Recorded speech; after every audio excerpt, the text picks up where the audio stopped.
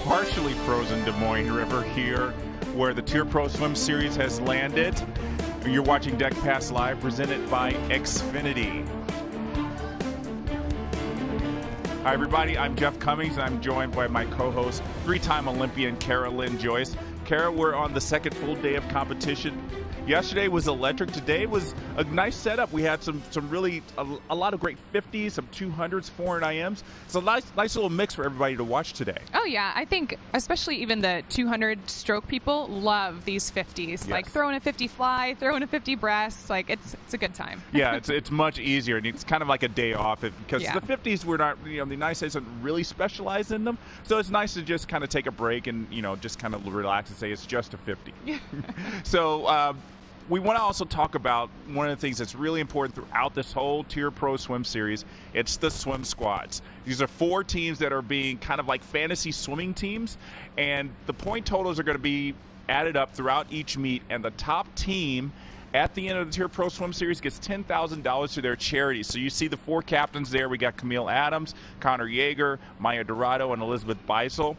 And right now, it's still pretty tight after just a day and a half of racing. Cammile Adams still has the lead, nine points over Connor Jaeger.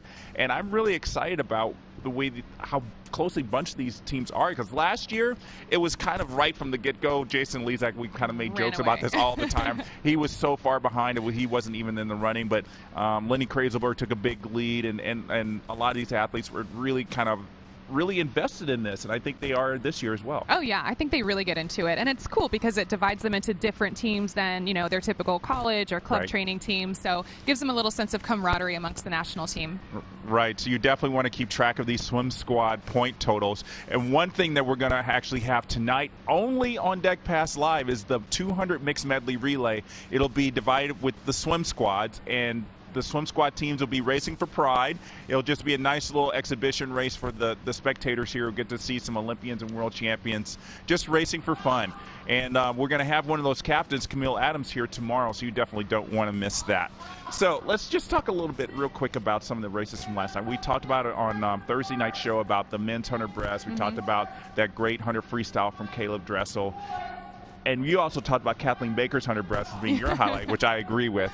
Uh, but that men's 400 freestyle, really exciting race between two guys.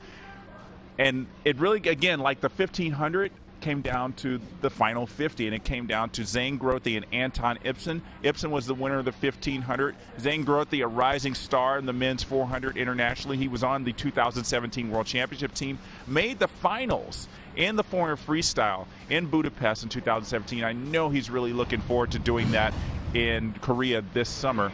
And here we are going into the final 50. You have Anton Ipsen in lane three, third from the top, and Zane Grothe in the lead there, fourth from the top. And what I found very interesting, Kara, is that Zane Grothe usually goes in kind of like a windmill style freestyle in his last 50, but he didn't do that here. I'm wondering if he was trying to work out some new strategy. Yeah, he looks really relaxed here, kind of like his classic mile stroke. But um, you know, Anton riding that lane line, trying to get every every inch from his uh, from his draft there. But I think these guys actually really enjoy going head to head. It's good for both of them. Yeah, I think they really enjoyed that over the course of the Pro Swim Series, and that's a great time for Zane. 349 in March. I think oh, he's got to feel really happy about that.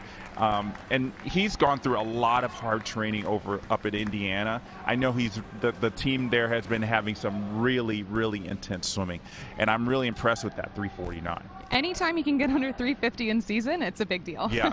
So something else that he was very he was really working for, not just the 400, but he was trying to work towards some goals that he has been having over his entire career, and he actually accomplished it yesterday. So if any of you follow Zane on Twitter, you might know this. So um, his goal was to be um, under 50 seconds in the 100 meter freestyle, under 150 in the 200 freestyle, under 350 in the 400 freestyle, under 750 in the 800, and 1450 in the mile. And yesterday he finally did that in Thursday's prelims with that 49 85 in the 100 freestyle. Those other times he had done earlier in his career, um, I remember he did that 743 7 in Pan Pacs mm-hmm. last summer, a really fantastic swim.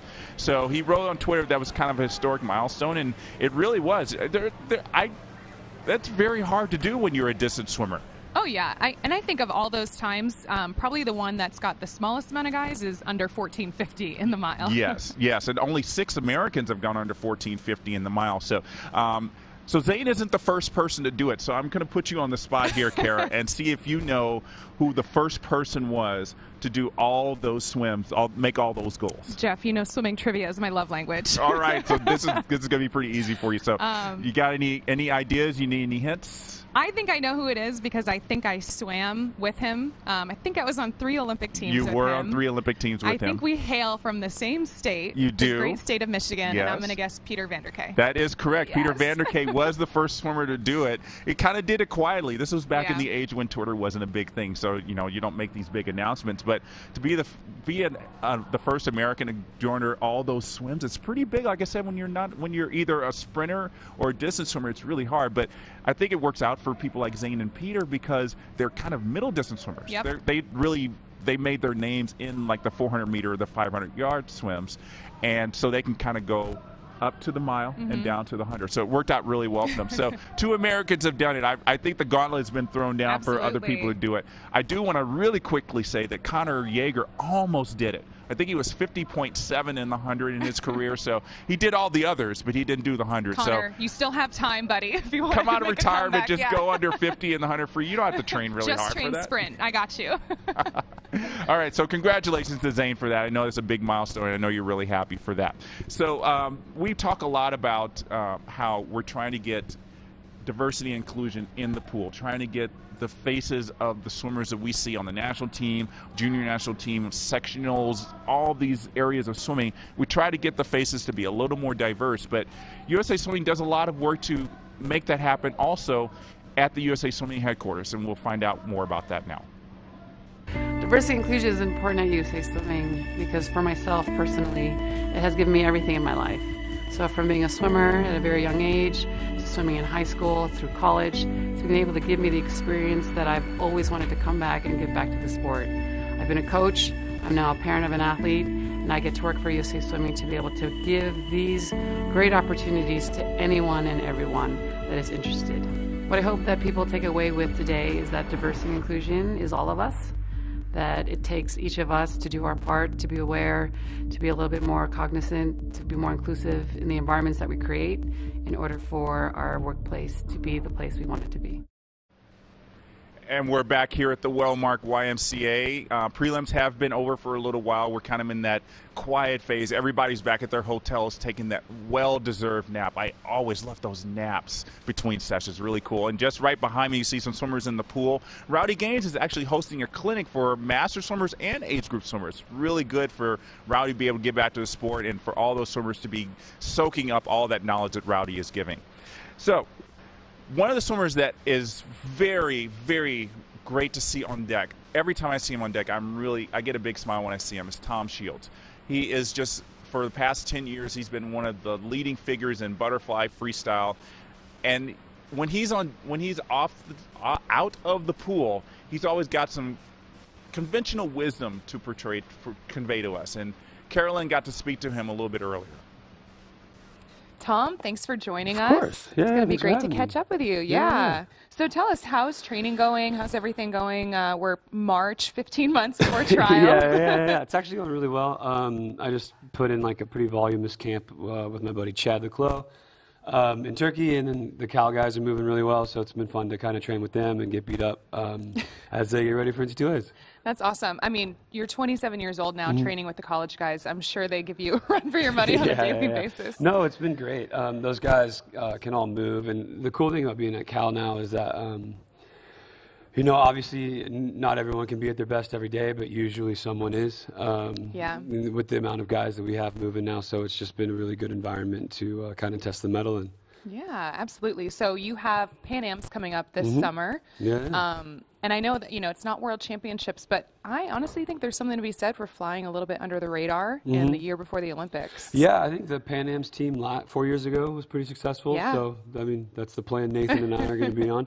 He gets to go to Worlds and uh, do relays, and, you know, that's awesome. And uh, we're super supportive and happy for that team. But, um, yeah, I'm kind of stoked. Like, I got both of my events, the 100 and 200, which, um, again, for me, I think couldn't be, you know, better. And so I'd prefer that. And so that's what I keep telling myself.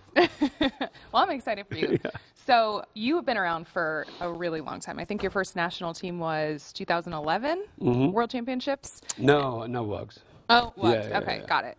And you're still the short course meters American record holder in the 100 and 200 butterfly. Mm-hmm. yeah, yeah. Had that one for a Well, while. yeah, for a little bit more here. Yeah. Yeah, we'll see how long. Yeah. Yeah. So swimming at a meet like this, you know, there's Mm-hmm. kids of all ages. You're racing against 16 year olds. You know, you're Mm-hmm. 27. There's some guys older than you. What would you? What advice would you give to like a younger Tom Shields? Um, same advice I'm trying to give to myself right now is that if you uh, if you uh, um, do really bad here, it's not the end of the world.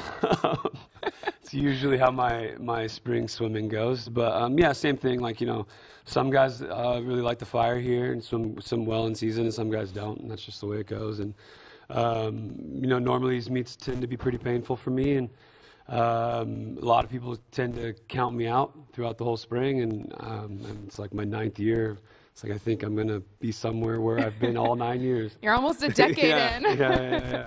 Well, awesome. So we're excited to follow you for the next 15 months, and Mm. um, we definitely wish you the best at Pan Am's this summer, and give your best to your give our best to your wife Gianna. Mhm, yeah, of course. Thank you very much. Yeah, thanks.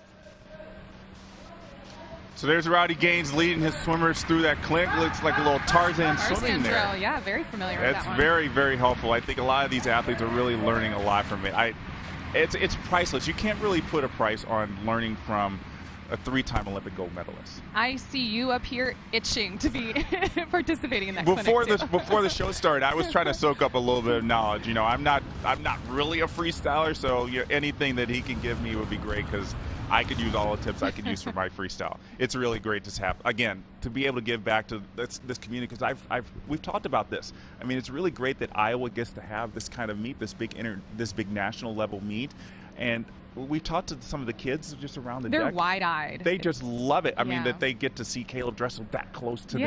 them. And I, I'm sure that, you know, this is something they're never going to forget. And hopefully they'll say, you know, I want to be at a meet where I could see Caeleb Dressel saying, remember me when I was 13 years old and you gave me your autograph? And Yeah. now I'm hoping to be on the national You team. You never forget that stuff. You never forget it. It's going to be really cool to be able to, to, to be able to take those memories away. So, um, hopefully everybody's going to be able to come if you're in Des Moines come to the pool tonight it's a lot of great racing much warmer in here than it is Much- out there. Oh my gosh! Oh my gosh! I got to tell you, I just want to say the Des Moines Skywalk, Lifesaver. a lifesaver. it is the invention of a lifetime. I am so glad they have that. Um, but if you're not in Des Moines, you want to tune into the Olympic Channel because the racing is going to be great. You see the lineup there. We got the 200 freestyle, the 50 breaststroke, the 50 butterfly, the 200 backstroke, and the 400 individual medley. Um, Kara, I kind of think the women's 200 free and the women's 200 backstroke are going to be the highlight races for me tonight. Oh yeah, the big races for sure. Um, I know the women's 200 free is loaded with a bunch of Olympians in that A final. Yeah. Um, Leah Smith leading the way. You have Olivia. Oh, I'm sorry, not Olivia. um, Allison Schmitt, Allison Schmitt. Hali Flickinger, Flick. Melanie Margalis. These are Yeah. ladies that could be on the 4x200 freestyle relay world championship. So oh yeah, many of them have been. and I think that's going to be kind of a good test for them to really see what they can do. And then that women's 200 backstroke, Kathleen Baker, who has really come into her own in the long course 200 backstroke. You know who I love seeing in the tuner back is Hali Flickinger. Yeah. I, I love that she has no fear in throwing in you know, distance events here and there. She has a great 400 free. She's Yeah. threw down a great 200 back this morning, but she's our you know best 200 flyer that we have, and, and she has no fear adding these other events into her roster. I have to say, if you could do the 200 fly, I think any other 200 is pretty much cake. See, I actually thought tuner back was the hardest event. really? I, I think it's okay. I don't. I, I, I guess it depends on your mindset about I've backstroke. never done a tuner butterfly. Oh my so, gosh. according to me, tuner back. I think we might have to put No, no, Carol no, no. in an event Retired. here. So just, just I said it was the Olympic Channel. I want to correct that. It's actually going to be NBCSN tonight live. Rowdy Gaines is going to be um, analyzing that. You don't want to miss it. And then as soon as it's over. We're going to be here on Deck Pass Live again. We are going to be the only place you could see the 200 mixed medley relay. So as soon as the men's 400 IM is over, you want to come to us on usaswimming.org, watch the 200 mixed medley relay. We're also going to talk to a couple swimmers that are probably going to be on that mixed medley relay, Nick Fink and Kathleen Baker. So we're going to talk to them about after the race. I know they're going to be a little heavy with the breathing, but they're they're always great to talk to anyway. It's only a 50. Yeah, it's only a 50. I think they can handle this the last race of the night. I think they're going to have a lot of fun. So please come and join us for tonight's Deck Pass Live presented by Xfinity. Rowdy Gaines will be there. He's going to He obviously be to a rest little. up after this. He's got yeah, he's gonna rest up. He'll be a little drier. He won't have the goggles on, but um, he'll definitely be giving you some good insight. And uh, thanks everybody, and we will see you tonight.